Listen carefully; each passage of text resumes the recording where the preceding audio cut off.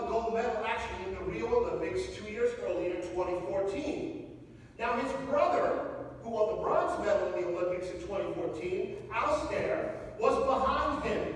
He was right behind him, racing and, and running, and, and they were looked like they were going to finish 1-2, just as they had done in the Olympics.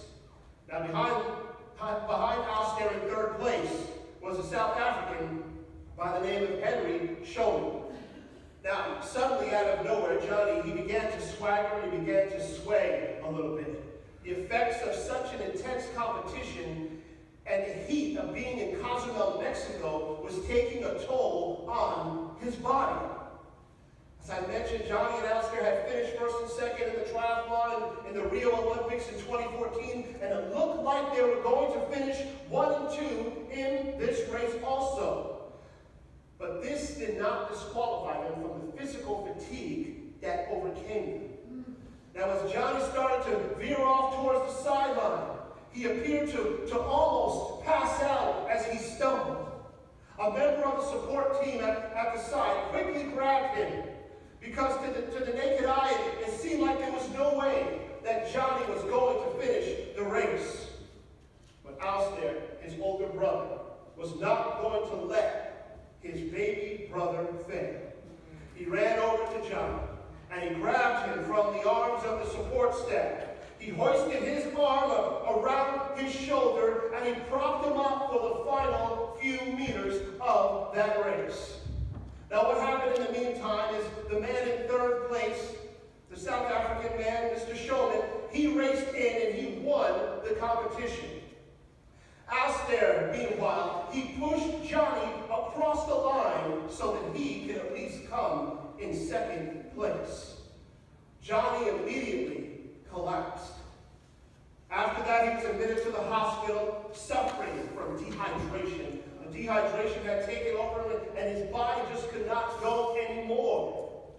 This story made headlines across the world because it told of the, the, the story of the love and, loyalty of a brother. The idea that he desired his victory to be shared with his brother. You see, friends, it wasn't about finishing first and second for them. It was about finishing. And Jonny was not, and Alistair was not going to allow his younger brother Jonny not to finish the race. They had trained together. And Jonny and Alistair both knew the, the importance of having IV administered when he was in this condition, but he was going to finish the race. Later on in the hospital, he delayed and he reflected on the results of the race, the media was coming and they were speaking to him and asking him about what had happened. And, and initially he said that he didn't want his brother's assistance. He thought to himself, I, I don't need it. I can finish it on my own. But as he was being dragged across the finish line by his brother, he was touched by his brother's love and his brother's loyalty. And later his older brother joked that, you know, our, our mom would not have allowed, would have not have had a good uh, attitude about if I had left him not to finish the race. Now, friends, as I heard this story, I thought of the topic of our message today. Revelation 6, and the, we're going to look at the seals, the first four seals and the four horsemen of the apocalypse. Now, on Tuesday nights, as I said, I've been going into this a little more in depth about what these horsemen represent. And I invite you to come if you like more details. And, and I'm also thinking and, and, praying about getting into a, giving more in-depth study on another night in the future, more of a prophecy Bible class. But today, what I would like to do is, is look at the overall message that these four horsemen bring to us personally. Because, friends, here's the reality. We are living in odd and troubling times. Yesterday, I was stunned to hear about the shooting in the airport. You hear about the shooting in the airport in Fort Lauderdale, Florida? all of my, my uh, most of my family is in, in Florida, in the Orlando area, but I called them just to get a little more details. Eight people killed, I believe, and five, um, five injured by a, a soldier who said he was hearing voices telling him to pull this gun out of his luggage and, and start shooting innocent people. And I, I thought to myself, what a vulnerable position to be in, just there in the, in the airport picking up your luggage, and, and this is what happens. In other news, we, we hear reports of, of, from our national intelligence telling us that, that uh, the Russian government tried to influence our, the democratic process here in the United States. And this discovery has, has led some to believe that we are ramping up perhaps for another Cold War, possibly even an armed conflict. Now, I don't say these things to bring fear and, and worry to you, friends. But it's important for us to realize that this life is much worse than a triathlon. Many of us sitting here right now are going through situations where we may be feeling alone, we may be feeling isolated and, and overwhelmed by the struggles of life. But the message in Revelation chapter 6, verses 1 through 8, tells us something, friends. It tells us that things will get worse as time progresses toward the second coming of Jesus Christ. But as we study the book carefully, as we study this chapter carefully, it is clear that even though it feels like life is going to cause us to, to faint and drop and be out of the race, we have a king who has already won the race. His name is the Lion of Judah. We have a king who knows what we are going through, and like that older brother, Alistair Brownlee. he will put his arm around our shoulder and he will run with us as we race towards the second coming of our King. And his name is the Lamb of God. As we look at Revelation 6, we gain an understanding of how much Jesus wants to do for us as we prepare for the final events in this world's history. We'll also see that no matter how bad things seem to get, Jesus is on the throne, and he is developing us to be truly ready for his second coming. He is loyal and he is loving to us as we are called his brothers and sisters. And just like that older brother who, who took him and dragged him over the finish line, he is going to be that loyal father and loyal brother to us. Jesus is determined to see that we are more than conquerors as we compete in this life and get ready to meet him face to face. Let's take a look at the Word of God and look at this, look at this in a little more detail. Turn with me, if you would, to Romans 8 chapter. Romans 8, we're going to look at verses 31 and 32. Thank you, Elder Kenneth, for reading this uh, longer text of Scripture. But we're looking at Romans 8.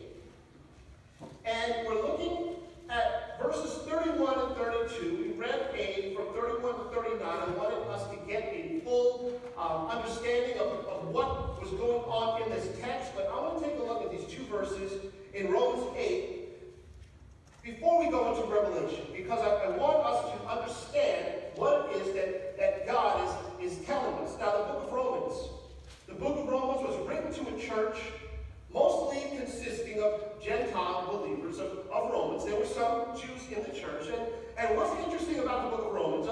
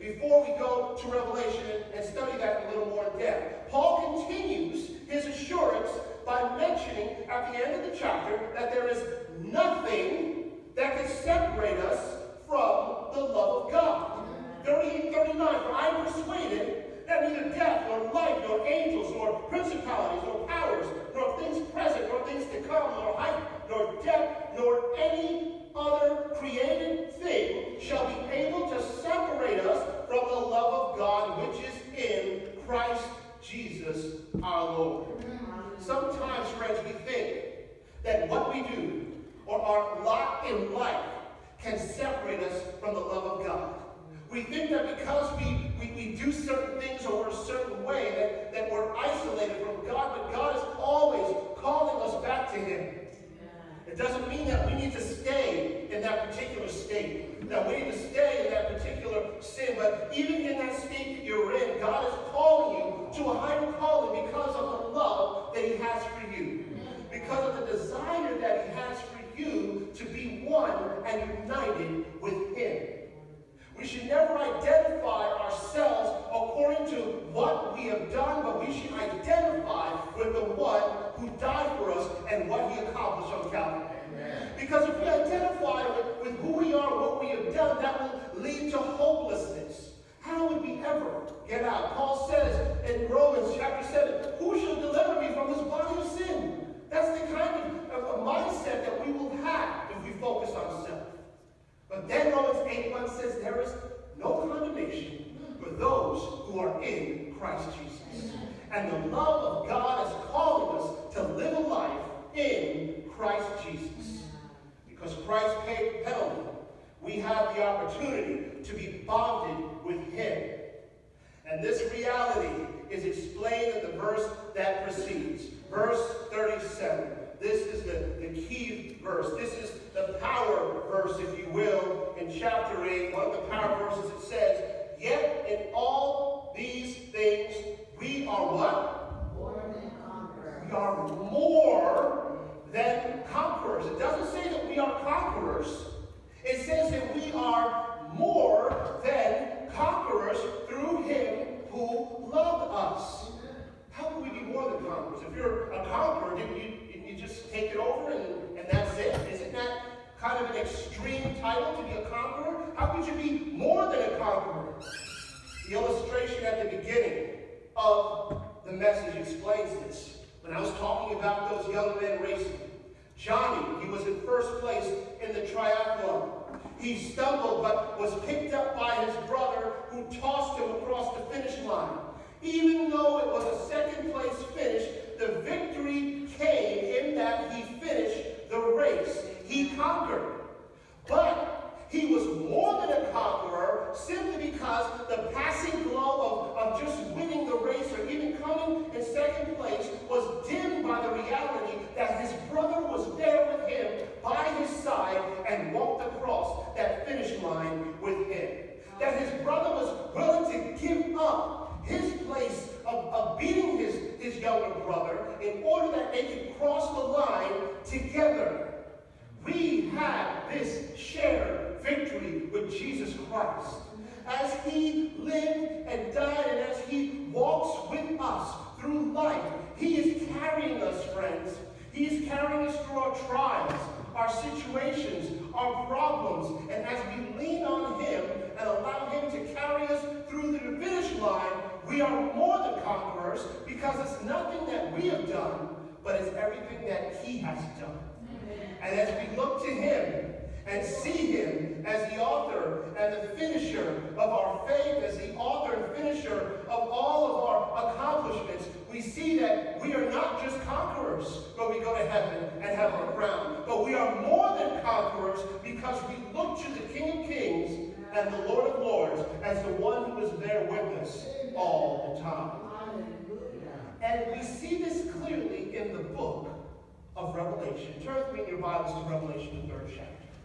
Revelation, the third chapter, I want to start by taking, looking, I should say, at Revelation 3, verse 21.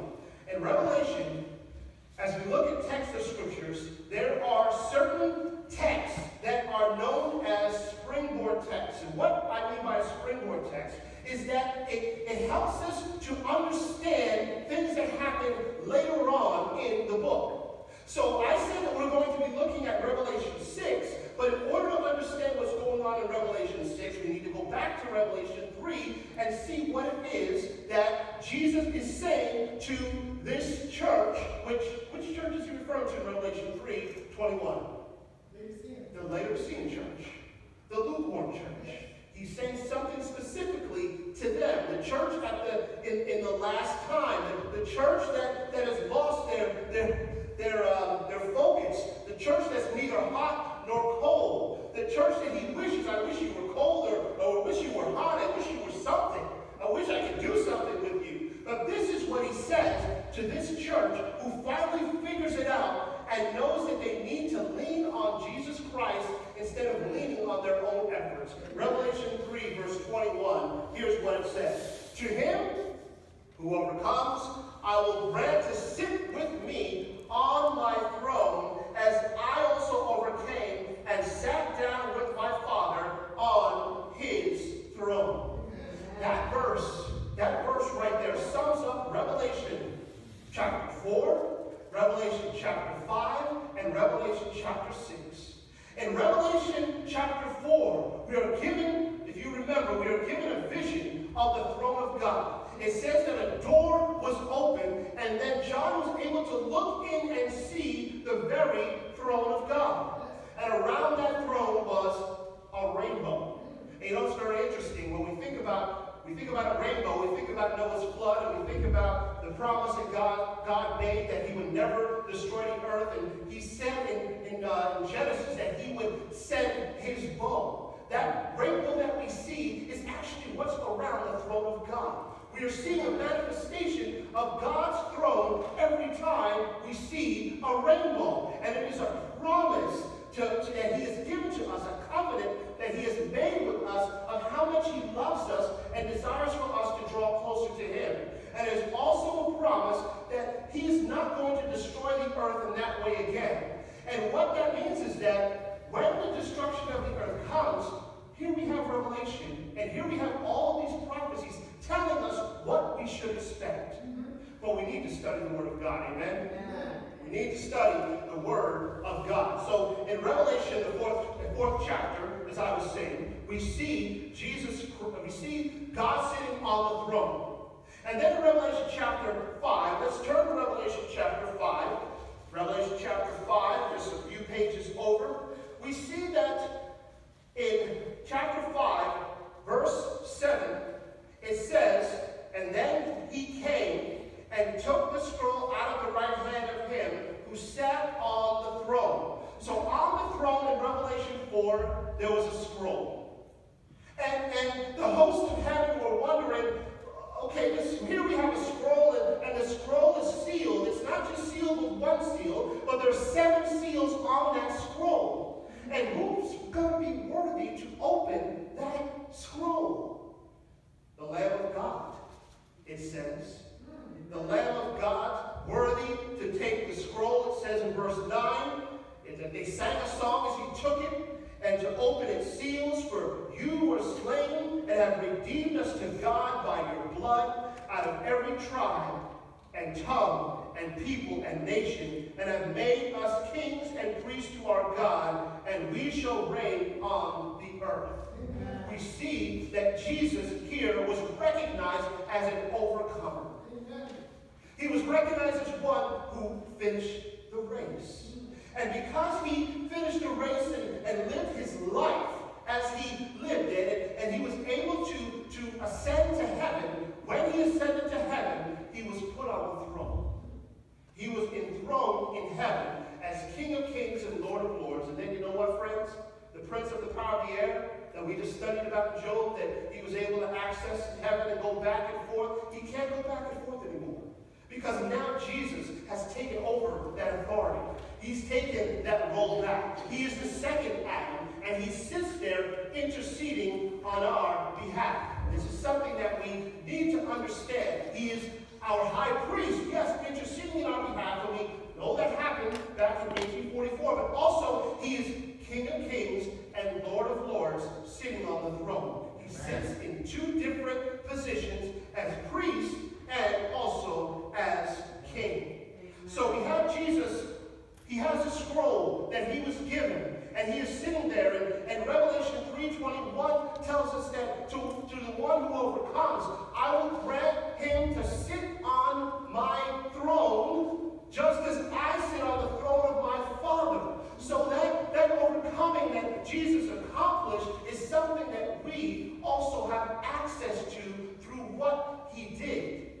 But the question is, will we accept that role? Will we allow him to lead us and guide us? Turn with me to Revelation 6, friends. And I don't have time to go through every, all of the seals in detail. As I said, um, I do that on Tuesday nights as far as what actually is happening with each of the seals. But one thing we need to realize is that in Revelation 4 and 5, that refers to Jesus overcoming and his sitting with his Father on the throne. In Revelation 6, what that talks about is the fact that there are consequences or preliminary judgments to the final judgment. And the reason that these seals are there, they're intended to wake up the people of God. Now remember, to he who overcomes, will I grant to sit on throne with me as I sit on the throne with my Father. That was given to what church? The Laodicean church, the lukewarm church. So that church needs to be woken up. And here we see in Revelation 6 the seals that are given to wake up the people of God. And how is that done? Unfortunately, friends, we see it's done in, in a certain way. Let's take a look very quickly at Revelation 6. I want to take a look at verse 1 and 2 first. The first seal is the conqueror. It's, you know, a conqueror. Now I, I saw when the Lamb, he opened one of the seals. Now remember, you have a scroll with seven seals. So he opens the first seal. And I heard one of the four living creatures, these are one of the, the beings that are sitting around the throne of God, saying with a voice like thunder, Come and see. And I, I, and I looked and behold a white horse. And he who sat on it had a bow, and a crown was given to him, and he went out conquering and to conquer. Amen. When that proclamation is given to come and see, what it's actually saying is that it's calling the horseman to, to come and to go and to do what it needs to do. Now, what that first horseman is doing, it's a white horse, first of all. A white horse, if you look at white in Scripture, if you look at white in the book of Revelation, who wears the white garments? The redeemed of God. Jesus is seen as, as being around the throne, and, you see white being a sign of purity, a sign of victory. So what we see this horseman doing is the victorious Christ sending his spirit on Pentecost. It's Revelation 5 also. And we see the gospel spreading throughout the world like wildfire. It says in Acts 1 8, you will be, when the Spirit comes, I should, I should back up. When the Spirit comes, when the Holy Spirit comes, witnesses in Jerusalem, in Judea, in Samaria, and to the ends of the world. Amen. In Revelation, the sixth chapter, verses 1 and 2, we see this gospel, this horseman going out, conquering, the gospel going forward. Friends, this should give us encouragement. Because Jesus is opening up the opportunity here to spread the word. And, this is not something that is just done during this time. This is something that continues on through the second coming. We are called to be part of this great victory. We are called to, to work with the, the white horse and move the gospel message forward. We're called to do that. And it says, he who sat on it had a bow. A bow is, is, is a sign of, of war and, and going out and fighting against the, the enemy and all of the, the false uh, doctrines and teachings and, and things that Satan wants to put into our church and into the world. He's going out and he's sending us out there to fight that. And then it says, and I love this, he's given a crown. A crown is always a sign of victory. And he went out conquering and to conquer. It's, it's almost like you're more than overcomers. Here's saying you're more than conquerors. You're not just conquering, but you're you're conquering and to conquer. There's, there's an extra emphasis put there because when the gospel message is heard, it does things that this world cannot understand. Mm. The church is grown by leaps and bounds. I know, friends, that, that as we look maybe our situation, our, our local situation here, we, we, we wonder, where is this conquering and the conquering? But again, Jesus said, I will, when I send my spirit, when the spirit comes, the spirit is going to do something right. So friends, this is a this is a wake-up call. We need to be praying for the Holy Spirit. We need to be praying for the Spirit to come in a mighty way.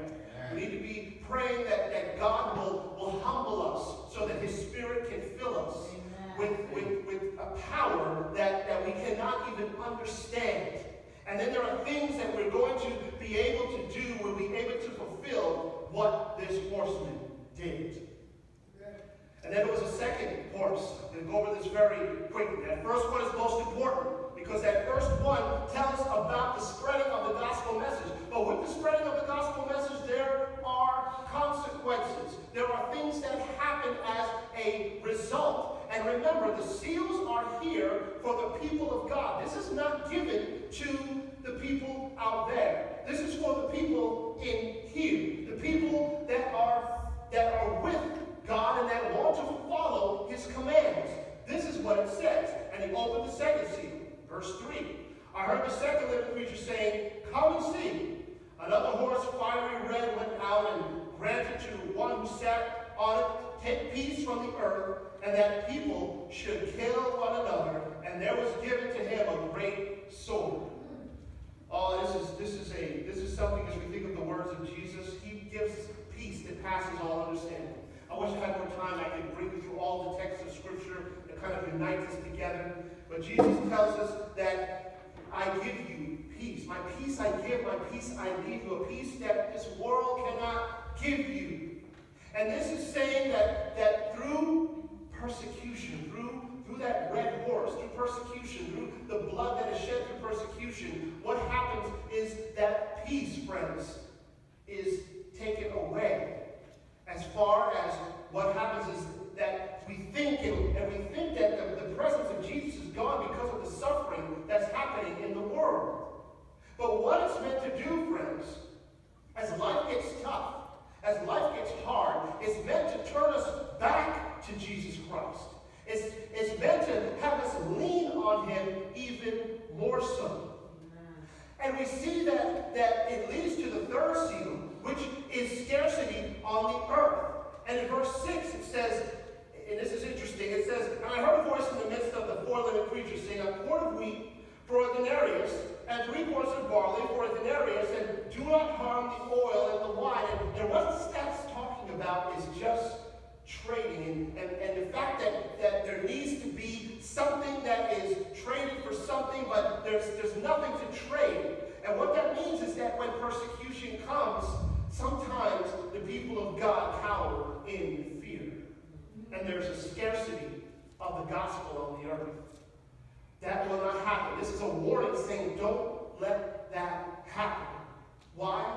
Because Jesus is sitting on the throne. Amen. Why? Because Jesus was given the scroll. Why? Because Jesus has authority, and He's the one that's allowing this to happen so that we can turn closer to Him. So when things get rough, look to Jesus. When things seem hopeless, look to Jesus. When things seem like you, you just can't get any worse, look to Jesus. Open up the Word of God. He is on the throne, even as we speak, even as we're here. He sits on the throne in control of everything. The final one. The final one is, is, is very, very discouraging. In verse 8, and again, I'm, very quickly.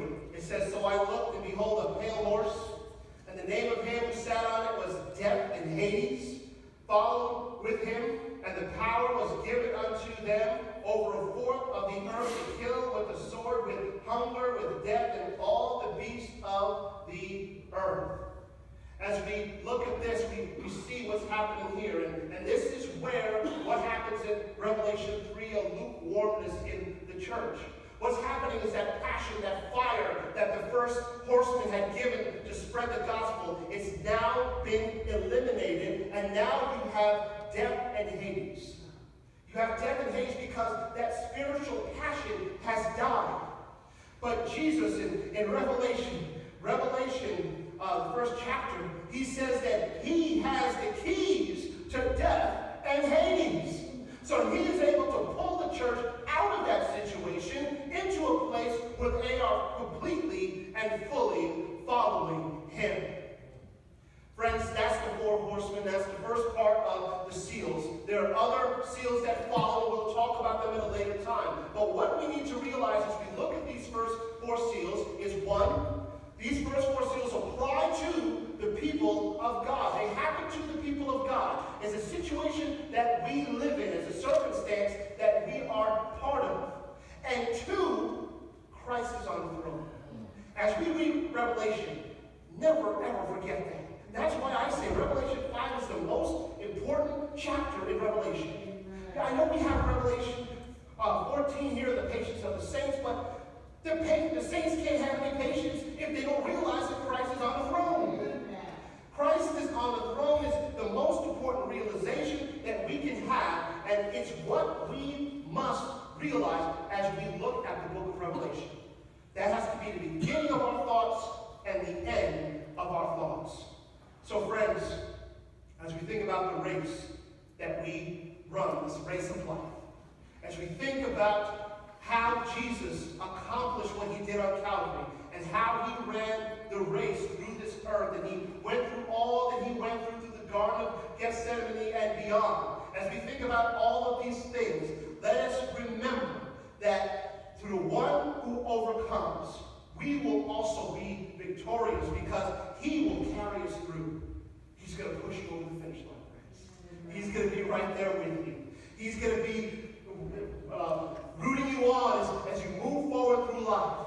And as we have that realization that Jesus is on the throne, it will allow us to have the peace that passes all understanding, and it will allow us to look at the book of Revelation with hope and with the realization that Jesus truly is coming soon. May God bless you.